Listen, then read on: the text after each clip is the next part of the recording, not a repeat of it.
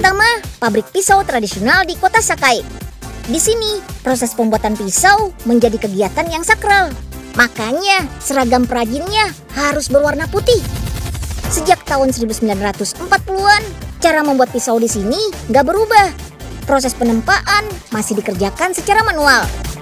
Kunci untuk mendapatkan pisau yang berkualitas, proses pemanasannya nggak boleh terputus ya. Jadi pisau harus dibakar terus, nggak main-main. Suhu tungkunya mencapai 1000 derajat Celcius.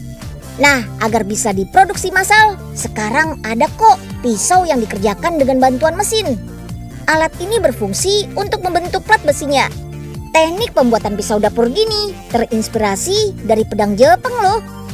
Pedang Jepang dikenal lebih mengutamakan ketajaman dibanding ukurannya. Jadi nggak heran deh kalau pisau Jepang dikenal sangat tajam dan mudah digunakan.